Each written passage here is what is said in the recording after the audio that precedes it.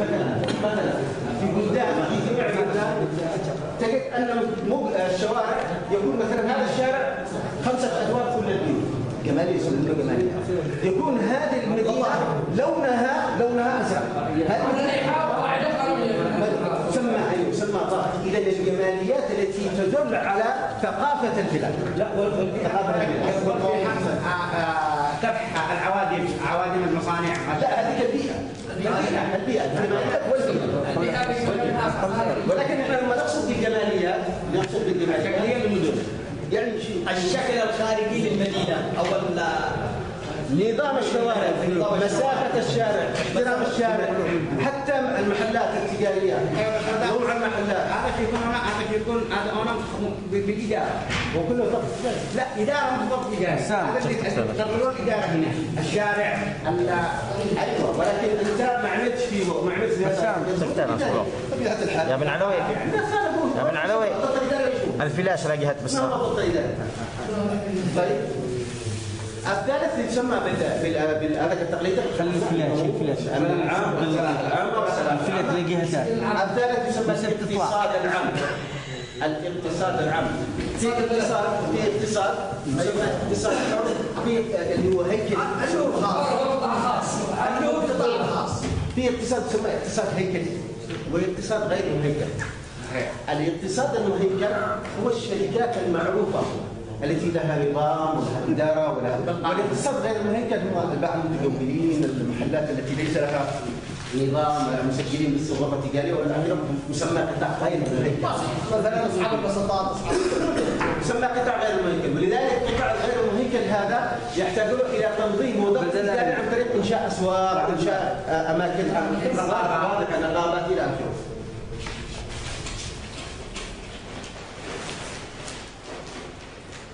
طيب خصائص النظام الضبط الاداري خصائصه خصائصه. أول خاصية خاصية أنه تتولاه السلطه التنفيذيه تتولاه خاصية له بالسلطه التنفيذيه الخاصية الثانية يسمى الصفه الانفرادية. الصفه الانفرادية الإدارة بمفردها بمفردها تقوم بإصدار اوامر بشكل قرارات بشكل قرارات والأفراد ملتزمون بها. اذا صفه انفرادية. لها الصفة الوقائية. طبعا هو مذكور عندهم. هذا كله مذكور عندهم. لكن أحيانا يكون مش مرتب. يعني مش مكتوب مثلا خصائص مش مكتوب كذا. لكنها موجودة. أيوه أيوه.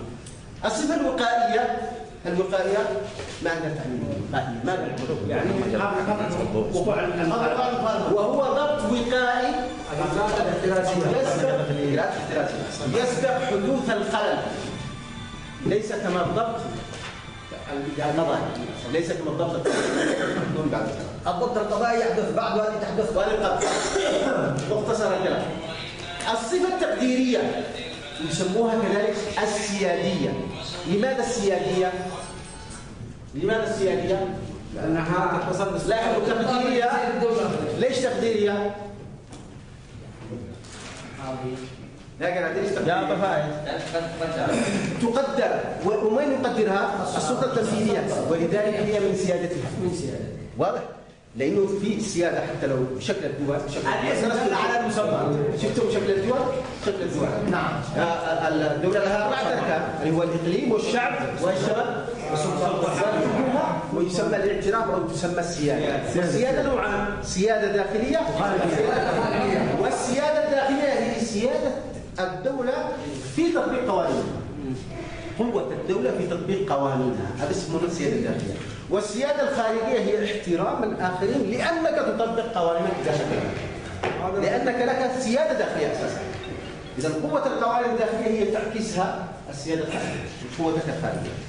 وبالتالي ال- السلطة التنفيذية سيادتها في التقدير.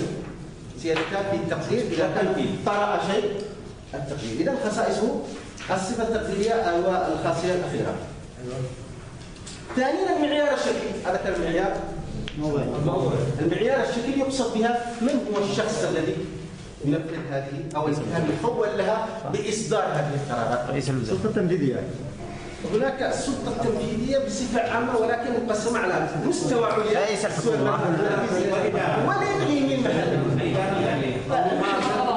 الاقليمي الاقليمي الدول الب- على حسب تسمية الدول على حسب تسميتهم اذا السلطة العليا والسلطة آه، المحليه السلطة العليا تمكن من رئيس الجمهورية وخول لها الدستور بذلك منهم من مادة 100 تقريبا واحد إلى إلى أن تصل إلى سلطة رئيس الوزراء في 109 اعطاه اختصاصات اعطاهم صلاحيات في ال- السلطة العليا في اللوائح في اللوائح النبي عبد الرحمن أساسا اللائحة ما يوافق عليها رئيس الجمهوريه لا. في لائحة لا في لوائح. قوانين وفي لوائح تعمل الإدارة. تعمل رئيس الوزراء اللي هي تفسير اللوائح، لكن اللوائح اللوائح القانونية، اللوائح المفسرة للقانون رئيس عليها رئيس عليها رئيس مجلس الوزراء يوقف ذلك النص القانوني، لاحظتم النص القانوني اللي هو الدستوري، وكذلك في نصوص قوانين. الدستور. في اذا الدستور ثم القوانين، في قوانين تكون مؤيدة لهذه ال- الوزراء بما خولهم القانون. ليس ال- الدستور. رئيس الوزراء معه رئيس يعتبر رئيس الحكومة خول لرئيس الحكومة، لكن الدستور لم يخول للوزراء. إنما القوانين هي التي خولت، لأنه كل وزارة لديها قانون، وزارة التعليم، وزارة التعليم العالي، وزاره وزارة وزاره يستخدمها منهم الوزراء. وكذلك رئيس الوزراء يوجه الوزراء بما خوله الدستور له. نواب الوزراء ثم الوكلاء. هذا ما يسمى السلطة العليا. السلطة الثانية اللي يسمونها السلطة الإقليمية والمحليه مثل المحافظون مثل الولاة في بعض الدول الأخرى. والمديريات. أيوه يحدد صلاحيه الأمن والمحلات فتح المحلات إلى آخره. هذه الأشياء. هل رئيس المركز من ضمنهم الامناء العام. الامناء العام. رئيس المركز يعني يعتبر مركز إيش؟ رئيس رئيس مركز قسم رئيس هل يعتبر هذا تدخل من ضمن الوحدات الاداريه داخليه قانون الداخلي اللائحه لائحه داخليه تدخل اللائحه الداخليه هي تجيب لك الهيكلة.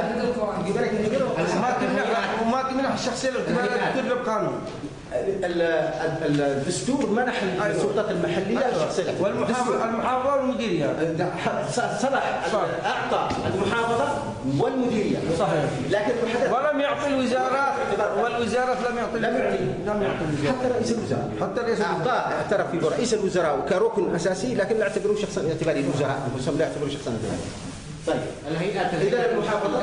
يا في تتبع الوزاره تلقى كل هيئه تابع لا لا نحن الهيئات الهيئات المستقلة. حتى لو هو مستقله الجهاز المركزي مثلا؟ يتبع رئاسة الوزراء يتبع رئاسه الوزراء. يتبع رئاسه الوزراء. يتبع رئاسه رئاسه الجمهوريه يتبع رئيس رئاسة الجمهورية. طيب مثل الضرائب تتبع الماليه تتبع المالية. مثل الأحوال المدنية تتبع وزارة الداخلية. إذا السلطة صحيح صحيح صحيح. إذا السلطة الإقليمية المحافظون الأمناء العامون. أمين العام. الامين العام. ثم مدراء العموم. مدراء العموم. الايش المحافظون تبع المحافظه ثم مدراء المديريات.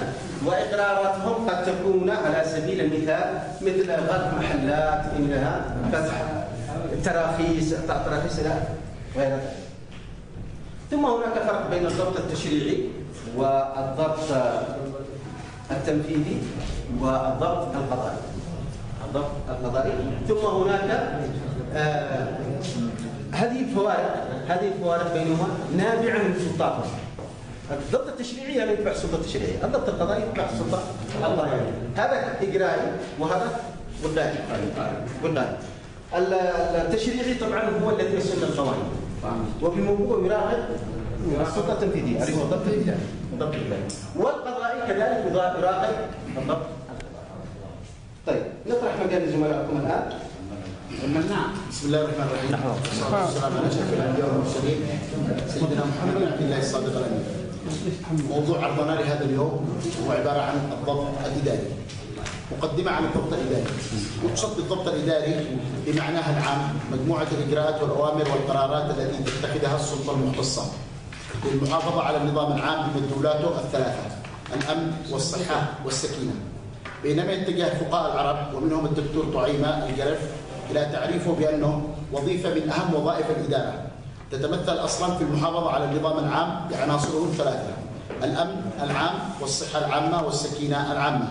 عن طريق إصدار القرارات اللائحية والفردية واستخدام القوه المادية مع ما يتبع ذلك. من- فرض قيود على الحريات الفردية تستلزمها الحياة الاجتماعية. ويعرف أيضا بأنه مظهر من مظاهر نشاط الإدارة العامة.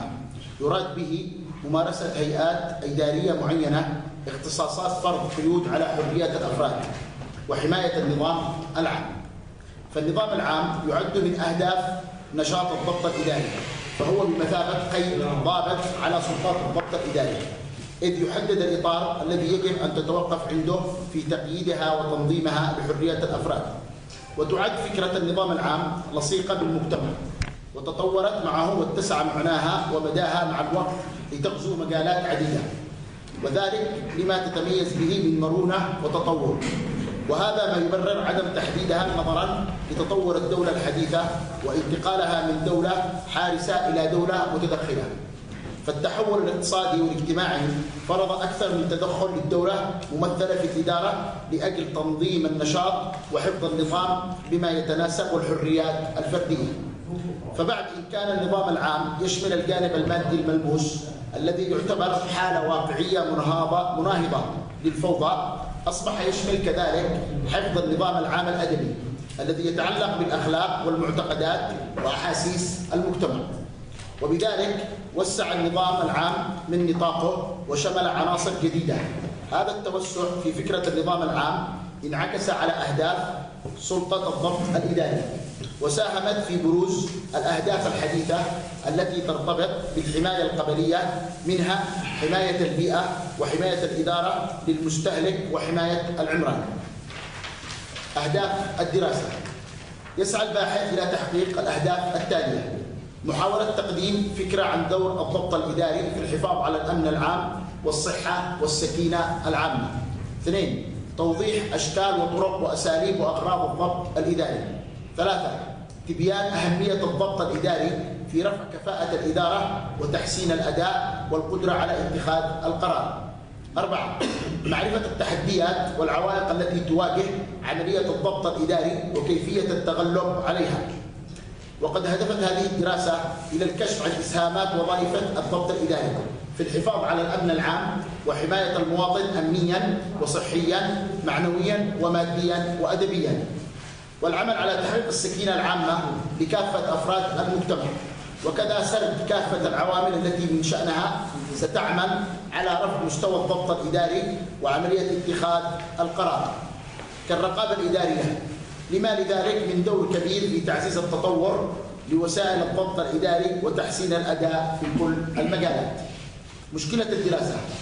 تظهر مشكلة الدراسة من خلال قناعتي بالدور الذي يلعبه الضبط الإداري في تحسين المستوى الأمني والمعيشي والصحي للمواطن وحفظ, وحفظ سكينته وصون كرامته وتوفير الجو الهادي والأمن المستقر الهادئ والآمن والمستقر لكافة المواطنين والذي اختزلته من خلال الأسئلة التالية واحد ما هو الدور الذي تسعى لتحقيقه إدارة الضبط الإداري بالتعاون مع الإدارات العليا؟ من أجل النهوض بالمستوى الأمني والمعيشي للمواطن نحو الأفضل. اثنين ما هي الأنشطة التي تقدمها إدارات وأقسام الضبط الإداري في مجال تحسين أداء الإدارة؟ ثلاثة هل توجد علاقة بين مظاهر الانضباط الإداري والأداء الوظيفي؟ أربعة هل هناك فرق بين الضبط الإداري والضبط القضائي؟ خمسة ما هي الأسباب التي أدت إلى عدم الاهتمام في جانب الضبط الإداري في القطاع العام؟ ستة. هل ساهم غياب الضبط الإداري في تدني مستوى أمن المواطن ماديا ومعنويا وصحيا؟ سبعة. ما علاقة الضبط الإداري بتحسين الجو المعيشي للفرد والمجتمع؟ ثمانية. ما هي التحديات التي تواجه عملية الضبط الإداري وما طرق التغلب عليها؟ أهمية الدراسة. تكمن أهمية هذه الدراسة في أنها تسلط الضوء على الدور الكبير الذي تلعبه إدارات وأقسام الضبط الإداري. والأثر البالغ الذي يتركه موضوع هذه الدراسة في النهوض بمستوى العمل الأمني في أوساط المجتمع. وكذا الخروج مجموعة من التوصيات.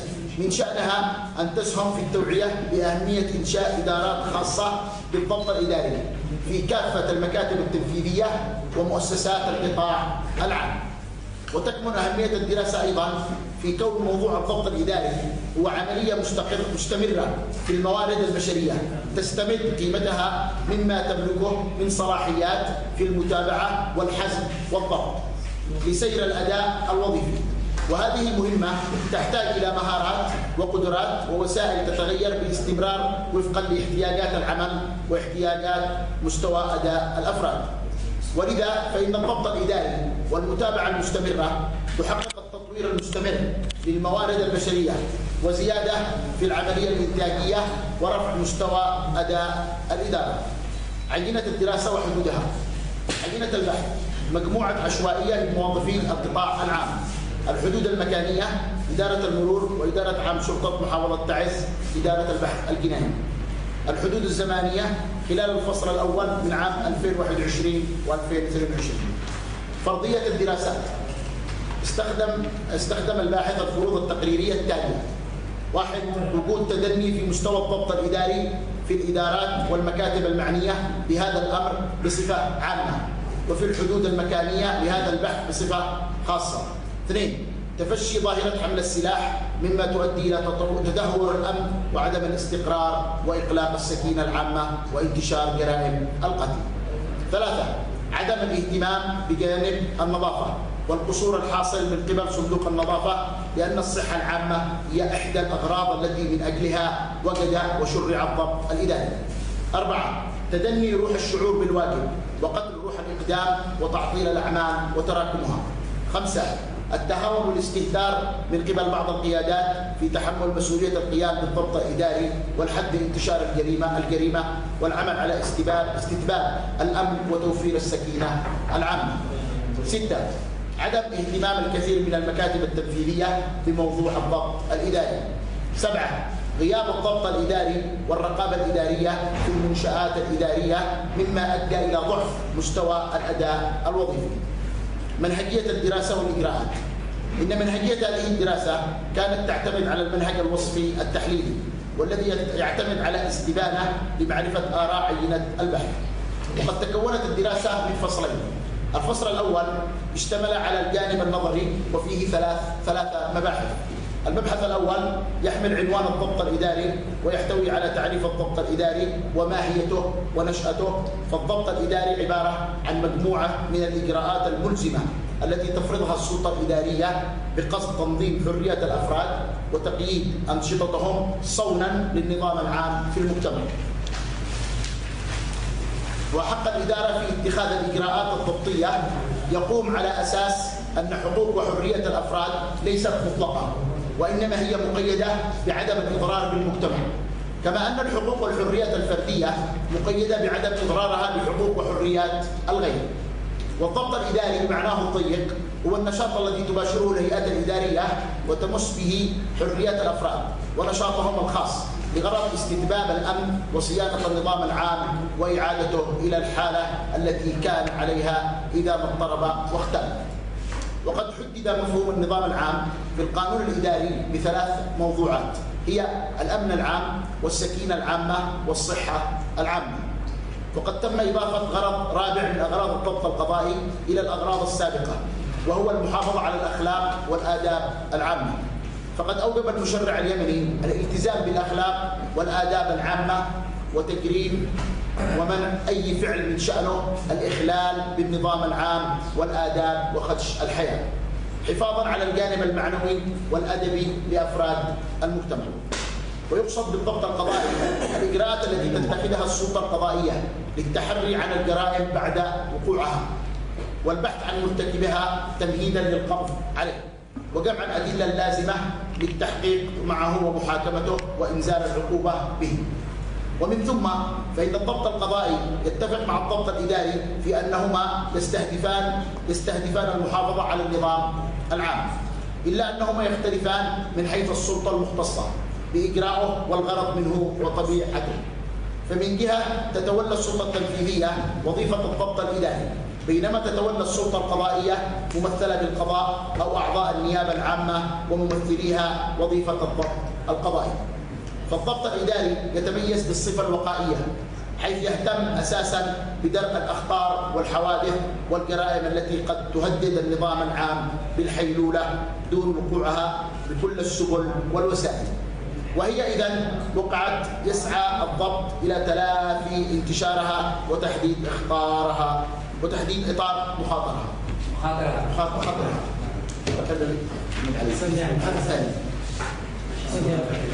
المبحث الثالث. يسعى الضبط الإداري إلى صيانة النظام العام في المجتمع الذي يتفرع إلى شعب ثلاث الأمن العام والصحة العامة.